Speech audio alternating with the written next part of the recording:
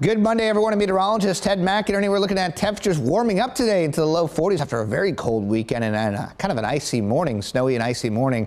So that'll be nice to help melt some things down here. But let's take a, take a look at our uh, uh, our, our, precipitation forecast on our total storm tracker. Heavy rain possible around the lunch hour on the mid coast. But yeah, all that snow and rain and uh, freezing rain for the morning changing over to rain. Mountain elevations will see snow through the early afternoon. Things wind down. It should be cloudy and mild during the afternoon. Maybe a couple cracks of some sunshine by uh, about 4 or 5 o'clock. But again, uh, tomorrow a dry, cloudy start. There's a quick chance during the uh, afternoon, early evening of some mixed or rain showers around the coastline, so it might affect the evening commute, but nothing too big to worry about.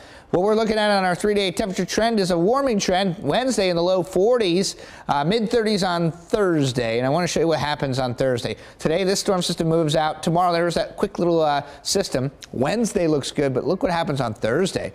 Latest computer model trends from both the European and GFS showing snow Thursday morning all the way through Thursday afternoon, so it might be some big impacts there as it gets cold on Valentine's Day on Friday into Saturday. Here's a look at our exclusive eight-day forecast. 41 today and cloudy and mild and breezy in the afternoon. Tomorrow dry in the morning with a chance for a couple of showers or mixed showers.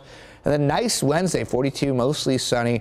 Impact weather coming our way. It looks like snow and rain possible, but I think right now it looks like snow, significant snow. Not a blockbuster storm, but enough that you'll be shoveling.